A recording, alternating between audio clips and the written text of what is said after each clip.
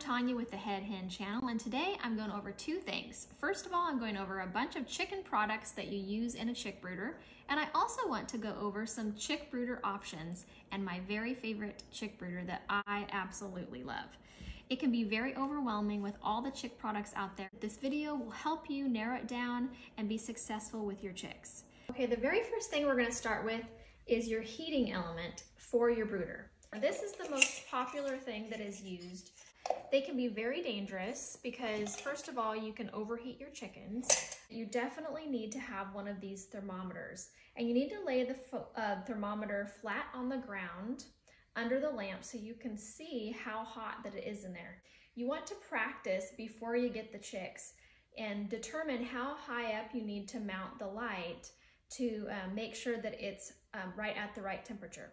So at first, when a chick is like seven days old or younger, you wanna keep the brooder about 95 degrees. And then each week, you're gonna decline by five degrees until they're old enough to go outside. So the other option and is the bomb, and that is the Brinsea EcoGlow heater. This thing is amazing. So this is just like a mama bird. So in nature, when you see a hen have chicks, the chicks are not under the heat all the time. They scamper under and get under their mom, and then that's how they get their heat, is when they're underneath their mom. So this works kind of like a mama hen. You don't have to stress about maintaining a certain temperature in your brooder. You just kind of put that in there and the chicks get under it. You do want to have it at the right height, but they get under it when they need it. But this is about 80 bucks, but it's well worth it if you're gonna have chicks to invest in one of these heaters, you'll absolutely love it. Now let's talk about some feeders. So these are a couple models that I've used.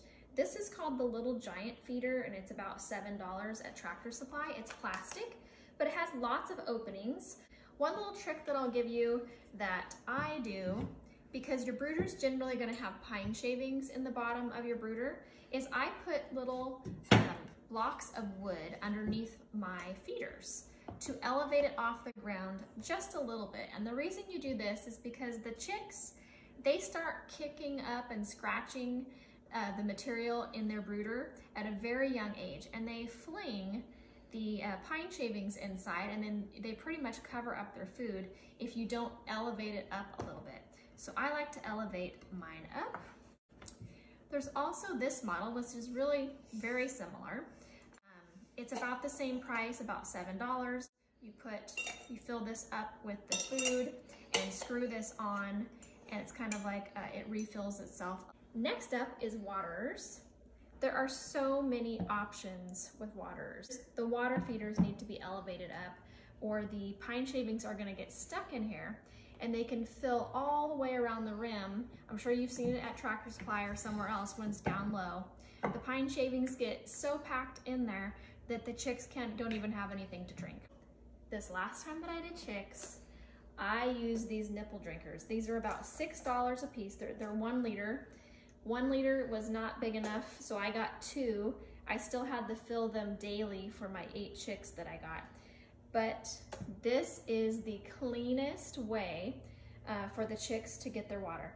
So they just tap it. It takes them about five seconds to figure it out. Um, they tap it with their beaks and the water drips down. And this is something that has to be up high. So I actually stacked several blocks of wood. I also mounted one of these nipple drinkers on top of the Brinsea here. So it was kind of like the perfect little um, height. This was lower uh, at first. And sometimes if it wasn't tall enough, I would put a little block of wood like that and they'd hop up on the block of wood and then tap here. You can also put this up on a block. It is a cup drinker. This is by Rent-A-Coop. Most of these also come with mounting brackets to where if you are using a cage type of a thing for your brooder, you can actually mount this onto the cage and you can adjust the height uh, based on how you mount it. But this is actually pretty clean. It's definitely cleaner than this option. This works pretty well, but definitely my top pick for chicks would be this nipple drinker right here. So now that you have the supplies, let's talk about brooder options. When it comes to selecting a brooder, it's really a personal choice. I've even heard of people putting chicks in their bathtub, and certainly a lot of people have put chicks in a Tupperware container like this. Keep in mind for the first one to three weeks, you'll need at least one square foot per chick in the brooder. As they get older, they need at least two square feet per chick. They get big and active very quickly, and it's at least six to eight weeks before they are fully feathered and ready for the coop.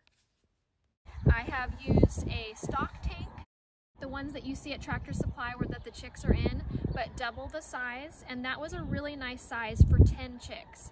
But they started to get really active, they started to get big, and they were too cramped and there was some feather picking behavior, which is what happens when you have too many chicks in a small space. So what I did is I took half the chicks out and then put them into another space. So when I had to move them to the coop, I had to introduce them to each other so that they wouldn't start fighting and all that. So if you can, it's best to keep them all together.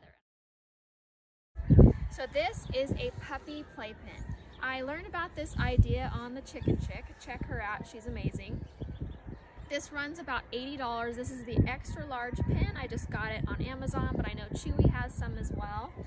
What I liked about this is how big it was and also how many access points that it has and also that it's mesh on the side. There were so many benefits to that. Because it was mesh, the chicks got really used to around them. They weren't startled as easily as I've seen my past chicks uh, be startled when people would uh, come around them. And in addition to coming from above, which kind of scares chicks because they're prey, you can come in on multiple sides to grab their feeder or their heat, the, the heater or whatever and make adjustments in the brooder. It's especially nice for cleaning. Um, some of the safety features that I like about this is there is a net, a net material that zips all around the circle um, on top, which is really nice because it keeps the chicks who are flying about inside and then also keeps predators uh, from getting inside of the coop. So if you have a cat or a dog, this is amazing. It helps keep the chicks much, much safer. I also like this for cleaning. Down at the bottom, I haven't zipped it up. I just kind of laid it in here to, to be able to show you. There's a liner on the bottom and that's really nice for um, keeping everything kind of tidy. I had this on my patio for a while and it kept my patio from getting really gross because it had the liner. Uh, something else that I really liked about this coop, because I mentioned how I really like to have lots of space for my chicks so there's none of that pecking behavior. I like to open this side and then I kind of secured this and I attached another pin, a large pin around this and it had a top as well. I've also used an extra large dog crate to extend my brooder space.